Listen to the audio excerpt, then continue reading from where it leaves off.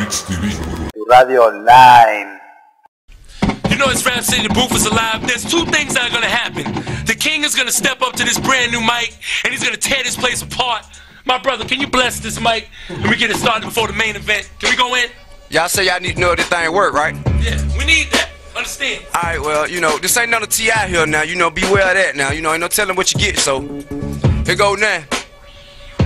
Hey, a lot of rappers like to talk like bro, love running name out. Here till I run in name out. put the gun in their mouth. Tell them shout to talk now, and think you know the gun go bow. I ain't scared of the law. Nah, I'm prepared to go to war. What it is, shout to win, lose or draw. Never get caught, murky y'all. Ain't what you do. Question is, who saw? And I'm way too raw. Came in the day you won't. Think I'ma play if you won't, but the fast to remain, I got an AK and you don't.